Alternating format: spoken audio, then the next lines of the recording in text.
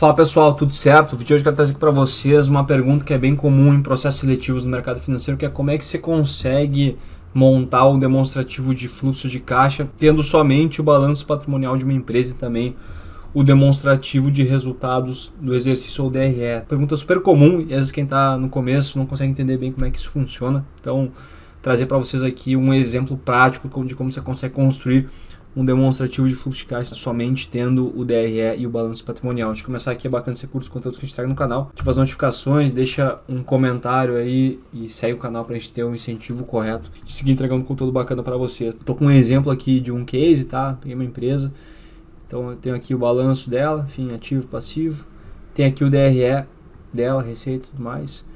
E aqui eu tenho o fluxo de caixa, vamos supor que eu apaguei aqui as informações, tá? Como é que eu poderia inferir essas informações de, do fluxo de caixa para chegar aí nesse valor? Então, qual que é o principal ponto aqui que você consegue entender a questão de geração de caixa ou não? Se você entender isso aqui, você consegue entender tudo o resto. Acho que o melhor exemplo que eu posso dar seria do contas a receber.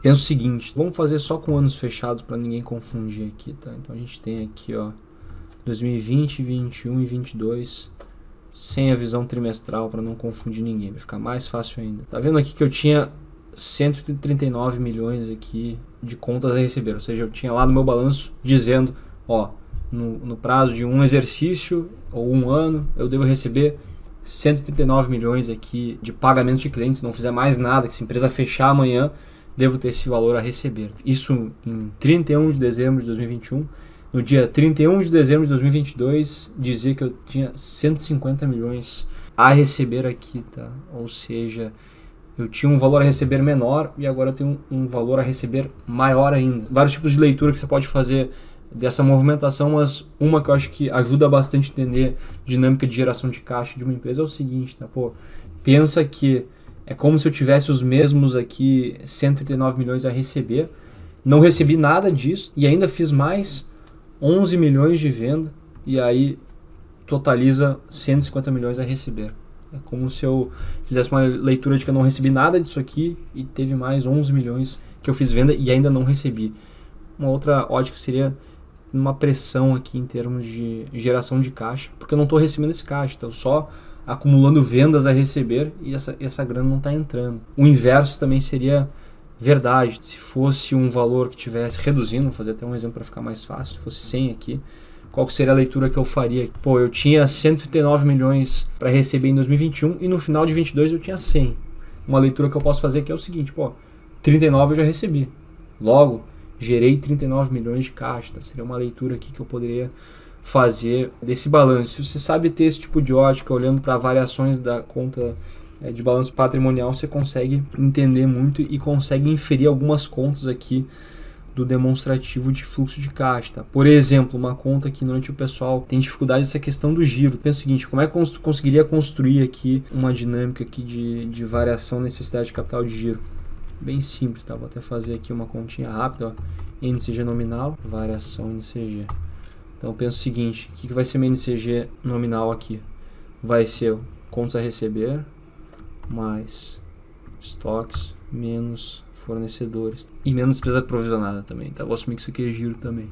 Então, a grosso modo, isso aqui, em tese, eu tenho aqui uma necessidade de capital de giro aqui negativa, dado que boa parte desse giro, aí, a maior parte sendo financiada por fornecedores. Tá? Tenho isso, tenho isso, tenho isso. Ó.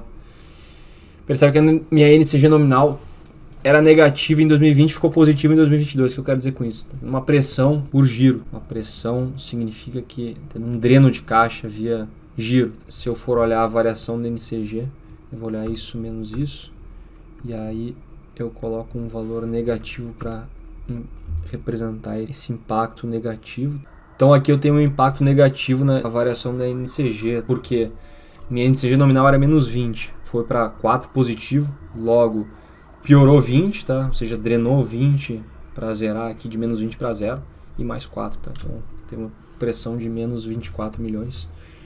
E aqui mais menos 24 milhões. Esses 24 milhões seriam exatamente o valor que eu colocaria aqui, ó.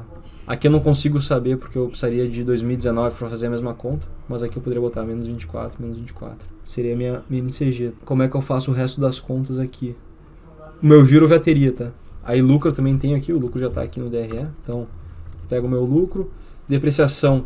Aí teria que entender se, se não a gente teria que dar esse valor aqui para você numa, numa questão de processo seletivo, porque normalmente o valor que está no, no, demonstrativo de fluxo de caixa, o que está na depreciação de DRE, normalmente é diferente. Mas vamos assumir que você tem essa informação. Tendo essas informações, você já tem aqui ó, geração de caixa operacional da empresa, somente com as variáveis aqui do balanço, assumindo obviamente que eu usei todas as contas de giro aqui na minha conta aqui, que pode não ser verdade, que foi contas a receber estoques menos fornecedores e despesas provisionadas. Por exemplo, pode ter coisa nesse outro aqui que é giro, eu não sei. Assumindo que isso aqui está certo, seria isso aqui o giro. CAPEX, como é que eu chego no CAPEX? Aí você pode fazer uma conta bem simples aqui, que seria o seguinte, esse menos esse. Então, obviamente desse ano aqui, né? Para achar de 20 teria que ter de 19. Então de 21 eu posso fazer aqui, ó. Esse menos esse. Tem impacto de 30, só que tem que ver se faz sentido, ó. Isso aqui aumentou. Se o imobilizado aumentou, significa que ele investiu, logo foi um dreno de caixa, tá? Então esse valor tem que ser negativo. Logo vamos fazer isso aqui de novo, menos isso menos isso. E tem mais um porém aqui, isso aqui é o valor final do imobilizado. Então, em tese, eu teria aqui o impacto de depreciação. Para simplificar, considera só isso aqui, mas lembrando que teria que olhar a questão de como impacta a depreciação aqui no CAPEX, porque você tem posição inicial de imobilizado, o CAPEX daquele ano, depreciação daquele ano e o imobilizado final. Para simplificar, não vou entrar aqui no mérito, mas seria basicamente isso. E aí você teria aqui o seu valor da fluxo de caixa de investimentos. E aqui você tem essa sopa de coisas aqui, por exemplo, o empréstimo você consegue inferir facilmente, que é aqui ó, empréstimo vai ser o que?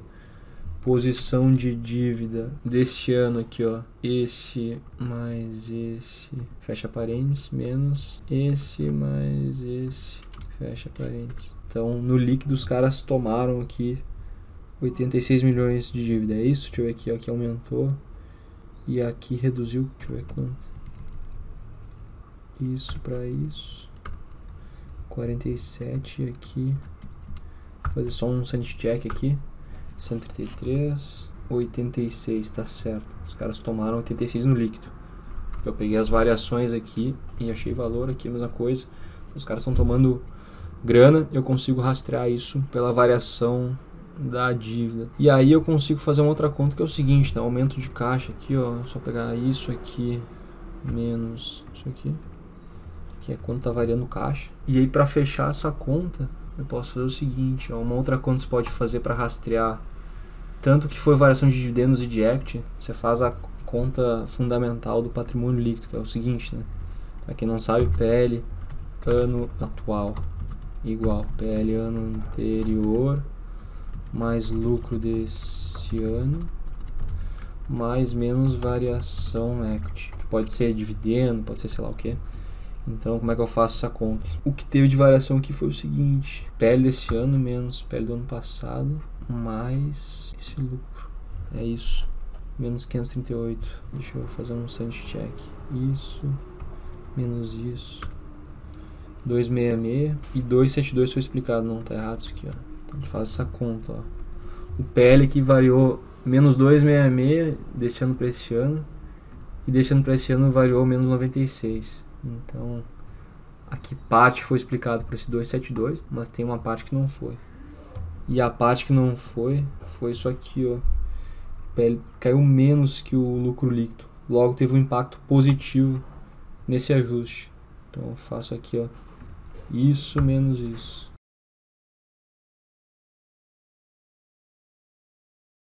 E aqui é a mesma coisa. Então se eu somo esses valores aqui, esse mais esse.